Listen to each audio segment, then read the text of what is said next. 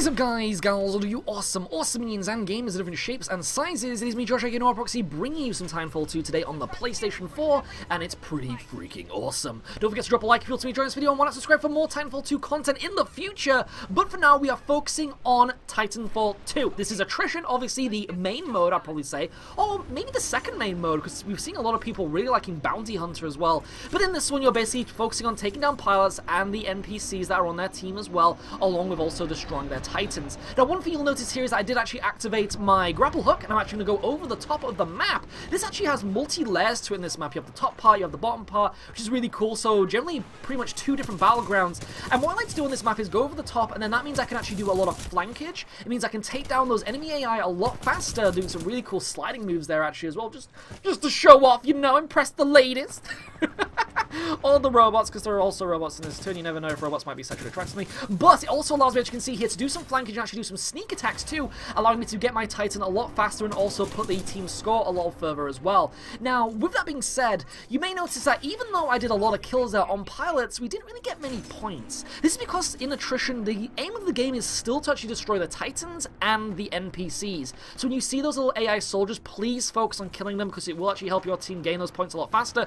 I know that killing a pilot might be quite fun, but it's not the main focus. I mean, this is one of the things, if you do see an enemy pilot surrounded by NPCs, and say the AI, well, say the AI is left on the field, but the, the pilot kind of runs away, nice little melee bitch slap from me there as well on that enemy pilot, but say the enemy pilot kind of runs away, focus on those AI first, and then go for the pilot, because that is still going to add to your overall score. We're actually being scanned here, which means that the enemy team can actually see me through walls at the moment. This is something you'll find as well, is that there's actually a boost ability called Map Hack. This actually allows an enemy player, once they've filled their Titan meter to a certain level to get a boost ability. To try and use a grapple hook here, but sadly I did miss.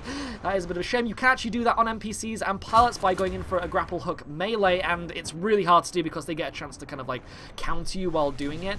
But the boost abilities, especially the map hack, reveals all enemy pilots on the visual field. So something to be careful of when you do actually see that, try and kill the enemy player while they're using that because I believe it does actually deactivate it. But we now actually have our Titan with the first person with the Titan on the field. A little bit of a risk reward here because generally what I would do is release my Titan when an enemy Titan has been brought out because that means you can kind of counteract the Titan.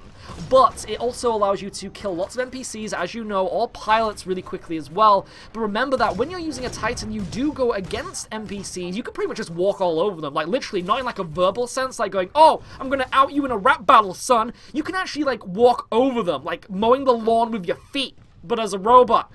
If it had razor blades. I don't think they have razor blades as toes, but if they did, it'd be really cool. But you can actually do that to the NPCs, and it means you actually get all of those NPCs that fall down from the sky a lot faster, as you're probably going to see here. Look, I just, just walk over them. you don't even have to waste your melee attack. So, pretty cool, pretty fantastic. But you may also notice I am actually using Tone. Now, Tone is actually classed as a very difficult Titan to use, but I'd probably say it's one of the easier ones. I don't know if anybody else agrees with this. Now, the reason why I say this, and it is really odd that it has a 3-star difficulty rating, is that its 40mm cannon is actually incredibly powerful. Probably one of the most powerful weapons in the game. Probably next to Legion's machine gun. Now, this actually kind of makes sense seeing as they're both pretty much next to each other when it comes to the Titan selects in the loadouts. But if you're really good at aiming with it, you can pretty much teach it like a sniper rifle in a sense. Because as you're going to see here, look, pop, that's a one-shot, one-kill, 2-8 enemy pilot. And again, it's kind of just like leading the shot in a sense. It's like a an M M1 Now, we did actually just get taken by surprise by an enemy pilot there who has nicked my battery. Now, this is actually one of my uh, earlier videos, I'd probably say. Like, I've obviously kind of got into, like, Generation 2 now and other stuff like that. But when it comes to getting rodeoed by an enemy pilot who tries to take your battery, I wasn't thankfully able to get my battery there and actually get a shield and a bit of my health back. But when that actually does happen to you, one thing to know is that when you pop that electric um, smoke, to actually spin around in a circle. Now, you might be thinking that's a little bit weird, but the reason why you do that is because the enemy pilot actually jumps from the back of you. So that means that they actually go from behind you even when they jump off. So when you do that spin, it'll actually throw them into a very odd direction, but it also means that they'll generally do a double jump because of the confusing spinning, and while they're doing that double jump, they'll be still stuck in the electric smoke. It's something that I find really, really useful. It's only something that I've ended up using in the last week. I'd probably say not in the last week, but the last few days within the week. And it's it's probably assured me a pilot kill within that electric smoke each and every time, which is really, really awesome. So you may have noticed that a pilot actually took my my tree again, but I was able to get even more health back, so this is something of a benefit too. When someone actually takes your core battery, which obviously loses your health and your shield and such, you actually gain more back when you retrieve it. It's kind of like a reward for you actually fighting to get that battery back, which is pretty fantastic. Also activating my special ability there, I was able to use on an enemy titan. We actually have another enemy titan here, which is an Ion, trying to take me down. He's actually charging up his shoulder cannon there and was able to hit me just over my shoulder blade on that wall, which was very lucky of him. Now you may notice as well that I'm actually firing and then using a combination of rocket fire as well within that 40mm cannon fire too. Nice little combo that you can use. Now what that actually allows me to do is, oh we've got that ultimate there just going off, that's so epic. Don't you think that's freaking epic? I think that's pretty freaking epic. And the main thing too when it comes to those uber abilities, you can actually control that in midair as you saw in my missile bending video. Not as good as what I've generally done like recently, but what you can actually do is you can fire that missile ultimate into the air and then control it downwards onto the enemies and they won't even kind of like suspect the missiles coming at them. Really cool tactic, very difficult to do, but very useful for surprise attacks with those ultimates.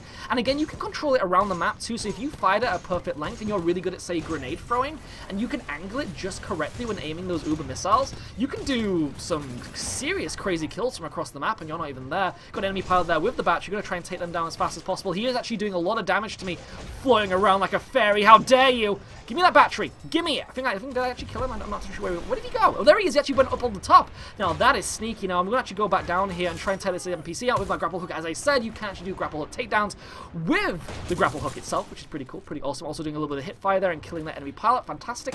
I generally find that the hip fire is a lot more useful than aiming down sights. I don't know if anybody else agrees with that. Even when you do burst fire, it just seems really, really powerful.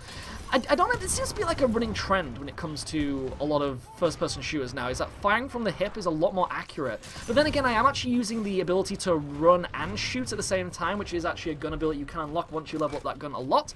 And it seems to be way more accurate than just firing down this. I don't even, did everybody agree with that? I don't know if anyone wants to agree with that. Now, with that being said, you may notice that my Titan's filler meter on the bottom left is actually nearly full. Now, by going on top of this friendly Titan, I can actually give it some health back with that charge battery that I just picked up, and it will actually fill up my Titan meter. Now, just to note, it doesn't fill it up all the way to the max, but obviously because I was over half, it gave me the other half as kind of like a gift. So it's really cool actually to help your teammates out with those batteries. Don't be greedy and try and keep them for your own Titan, because you will actually get your Titan faster if you give your teammates the batteries instead. And obviously as well, it might give them their health back if they've lost some health, and also give them a shield instantly too. Really useful, really awesome. Now we do actually have my Titan here, and I am actually going to be able to use my uh, weapon combinations. Now I was actually trying to say earlier that when you use your 40mm cannon, you will see like a little bit of like a white lock-on on the enemy titans. This is a unique ability to Tone, which is the Titan I'm controlling, because his missile pods can only be used by locking onto enemies, as you can see here, but the only way to lock onto enemies is by firing at them. So what you need to do is you need to do, I think, at least three lock-on shots, and then you'll be able to use your homing missile pods, which is really awesome, really useful, as you can see here. I'm going to fire them off here, but the Ronin is way too quick to actually be hit by those. I up dodging him. I just got shot by a enemy Tone there by his ultimate, which was not very nice. Actually going into emergency mode here, and sadly did get murdered by the enemy Ronin was actually popping my electric smoke there to try and protect me and put a bit of a melee gap in between me and the Ronin. Because is something, obviously, the Ronin can actually finish you off with the melee finisher with its sword, and you don't want... I mean, I died anyway, but you don't want that either way. One, this is one thing I'll notice, too. This is something I don't know if anyone wants to agree with me. I'm not trying to take this battery and completely fail by getting popped by that electric smoke, but when you actually get into emergency mode, you'll find that a lot of enemy players will rush at you with their Titan, just risk all of their health just so they can try and do an emergency finisher on you. I, I don't know if anybody's actually noticed that. It's, I, have noticed it quite a bit. It's like, it's like, oh, it's like a, a cookie that I want, but it's actually less of a reward to actually do that melee finisher with your Titan than to actually just stay back and finish them by standard because it means that you lose your Titan, obviously, which gives the enemy team points, but also means that, you know, you just you lose the Titan.